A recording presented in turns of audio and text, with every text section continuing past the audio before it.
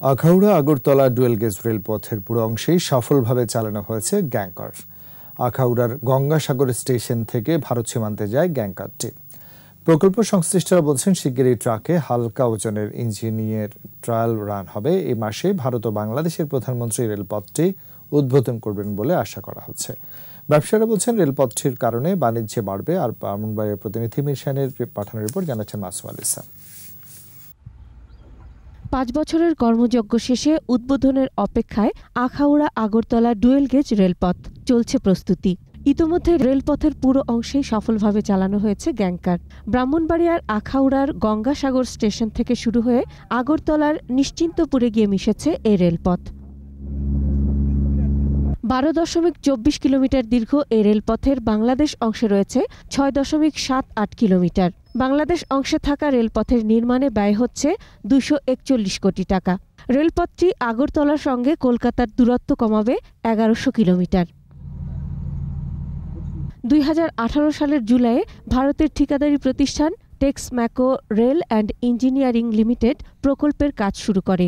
চলতি মাসে প্রধানমন্ত্রী শেখ হাসিনা ও ভারতের প্রধানমন্ত্রী নরেন্দ্র মোদী প্রকল্পটি উদ্বোধন করবেন বলে আশা করা হচ্ছে।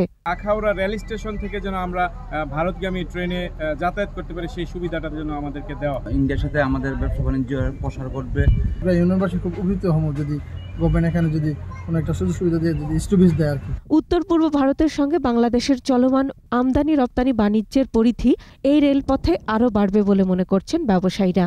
পরিবহনের জন্য এই রেল রেলপথটা আমাদের জন্য একটা দিগন্ত একটা নতুন সম্ভাবনার দ্বার উন্মোচিত তাই আমরা আশা করি এর মাধ্যমে বাংলাদেশ এবং আহ, ভারত উভয়ই উপকৃত হবে ব্যবসার দিক থেকে ঠিকাদারি প্রতিষ্ঠান জানান রেলপথ নির্মাণ প্রায় শেষ দ্রুতই এটি ট্রেন চলাচলের উপযোগী হবে गाड़ी चलना शुरू हो ही गया इसके ऊपर लेकिन इसका उद्बोधन तो जब होगा दोनों देश का सरकार जब करेंगे जब भी करेंगे हमारा काम था लाइन को बना देना हमने बना दिया है इसको প্রকল্প পরিচালক জানিয়েছেন শিগগিরই এ ট্র্যাকে হালকা ওজনের ইঞ্জিনের ট্রায়াল রান হবে আশা করছি যে আমরা খুব শীঘ্রই এটা উম, এই মাসের মধ্যেই আমরা একটা ট্রায়াল রান করতে পারবো ইঞ্জিন দিয়ে লাইট ওয়েট ইঞ্জিন দিয়ে আহ, যাতে পরবর্তীতে উম, ট্রেনের ট্রায়াল রান করা যায়। এই রেলপথ শুধু উত্তর পূর্ব ভারতের সঙ্গে বাংলাদেশকে যুক্তই করছে না, তৈরি হচ্ছে বাণিজ্য সম্প্রসারণের সুযোগও, এমনটাই বলছেন সংশ্লিষ্টরা।